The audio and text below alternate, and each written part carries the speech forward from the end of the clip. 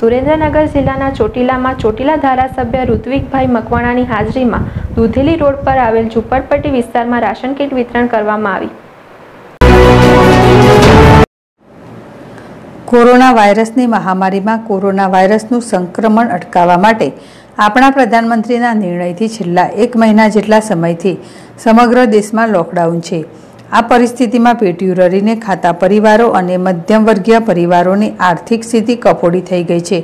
આ સ્થિતિમાં ચોટીલાની બે સંસ્થા, રામ રહીમ ફાઉન્ડેશન અને સત્કર્મ સેવા ગ્રુપના સંયુક્ત ઉપક્રમે લોકડાઉન ચાલુ થયું. ત્યારથી રાશન કીટનું વિતરણ અવિરત ચાલુ છે, જે અંતર્ગત સંસ્થાને મળેલ માહિતી મુજબ દુધેલી રોડ પર આવેલ ઝૂંપડપટ્ટીમાં રહેતા સલાટ અને દેવી પૂજક પરિવારો જેમનો મુખ્ય ધંધો કચરો વીણવો, ભિક્ષા માંગવી, નાના બાળકોના કાન નાક વીંધવા અને હાઈવે રોડ પર ફ્રૂટ વેચવાના વ્યવસાય સાથે જોડાયેલો છે.